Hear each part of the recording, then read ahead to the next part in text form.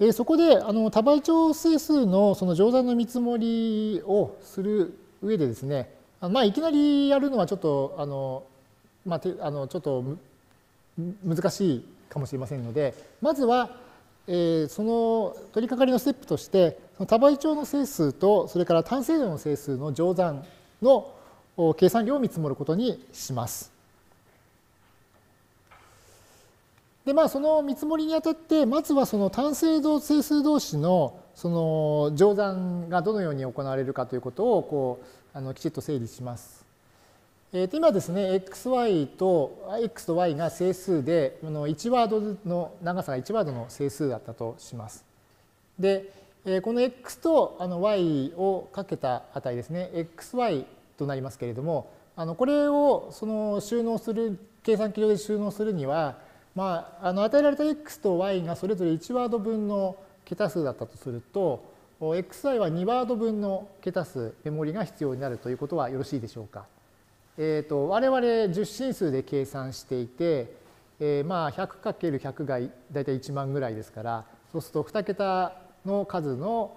2つ掛け算した時の結果っていうのは大体4桁ぐらいになるという見積もりが皆さんもピンとくるのではないかと思いますけれども、まあ、本質的にはそれと同じことですね。ですので1ワードの数と1ワードの数をかけた結果を格納するには2ワード分のメモリが必要であるということに注意しましょう。で、そのあの単精度整数同士のあの乗算を行うその、まあ、CPU の機構を一応このような形でこの授業では定義をしておきます。まあ、x がと y がそれぞれ1ワードの数で与えられたときにえこの xy っていうのが、まあ、あの一般には2ワードの数になるんですけれども、まあ、この上位桁のワードですね。この上位桁のワードはこの補助演算装置というところに格納しておくことにします。で、えっ、ー、と、まあ、下位桁の方は、うんと、あ、下位桁の方はこの、まあ、下の方ですね。で、さらに、えー、と今回のアルゴリズムを組むにあたっては、この xy の積にさらにあの1ワードの数 z を加えるという、えー、演算も一緒にセットにします。ということで、えまあえー、と x と y と z をそれぞれ1ワードの整数としたときに xy プラス z を計算しましてでこれを2ワードの数に格納するんですけど、えー、と下位桁のワードは w それから上位桁のワードはガンマと置きます。でこういう形でこう W とガンマというワードもしくは変数にこのそれぞれの上位桁下位桁の数を格納していきます。で実際の整数での値はどうなるかっていうと、まあ、下位桁は W そのものの値なんですけれども上位桁はあのこのワードの値に2の n 乗がかかっておりますのでそうすると xy プラス z という計算結果をガンマかける2の n 乗プラス W というふうに表します。で、この、えーと、ガンマ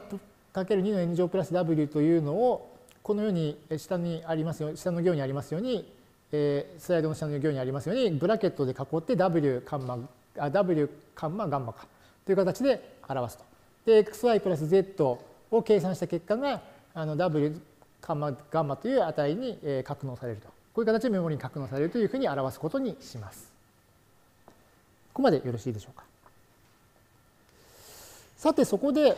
えー、とちょっと例題でですねじゃあ実際に多倍長数整数と単精度整数の乗算がどのように行われていくかというのをちょっと見てみましょう。今あの A としまして A は、えー、と4ワード分の多倍長数とします。A0、A1、A2、A3 という4ワード分の多倍長数。でこれに、えー、と B は1ワードの数としましてこの B をかけるというあの、まあ、乗算を考えます。で、まあ、アイデアとしましてはあのこれ多項式の乗算と同じようにですねあの、まあ、筆算で、えー、その A の下位桁から上位桁までのワードを順番に並べてでそれに下のワードから順番にこう B をかけていくという形で、えー、いけます。で、えー、とまず一番下位の桁でですね A0×B を計算しますとまあ、A0×B がまあ解のワードに入ってきてで上位桁にはこのガンマ1という値が入ってきますので、えー、今度はこのガンマ1はこの次の桁に繰り上げて加えるわけですね。で、それに今度はあの A の 1×B をかけて、で、下から繰り上がってきたガンマ1を加えるというのは、この、えー、と2は下から2ワード目の値になります。で、この時に、えー、とガンマ2というああの上位ワードの値があの繰り上がるという形で繰り返していくことで、えー、最終的には、あとまあ、こうこの筆算のですね、この行から下の形のあの各ワードの値になるということになります。で、えっと、これをですね、アルゴリズムの形で書き下したのがあのこちらのスライドです。とあの入力としましては、とまあ、A が多倍長数で K ワードの値ですね。A の0から A の K-1 の K ワードの値、K ワードからなるあの多倍長数とします。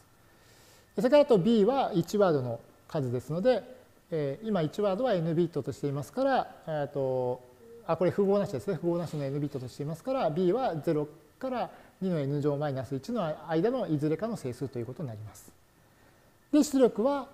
この C として、えー、とこれはですね、えー、と K ワードの多倍長数に1ワードの数をかけるとその大きさというのはあの K プラス1ワードになるというのはなりますので、え C は K プラス1ワードの多倍長数で A と B の積を返すというアルゴリズムとします。で、えーまあ、やり方としましてはまず最初に、ガンマ0に0を代入しておきましてでそれから、えこの2番目ですね2番目のステップでその先ほどのスライドにありましたようなこの筆算の繰り返しの演算を順番に行っていきます。えー、と i が0から k-1 の範囲で i を1ずつ増加させながらですね、えー、と ai×b プラスガンマ i というのを計算して、まあ、それをこの ci とガンマ i プラス1の組に、していくと。で、いうことで、えこの、まあ、解の桁から順番に乗算を行うとなります。で最後に、えー、と一番上の桁の繰り上がりとなるこのガンマ k をこの ck に代入しましてで4番目に得られたあの各桁の数ですね各桁の数をつないで返すということでアルゴリズムが終わります。で、まあ、アルゴリズムができましたので、まあ、これに基づいてあの今度はその計算量の見積もりを行います。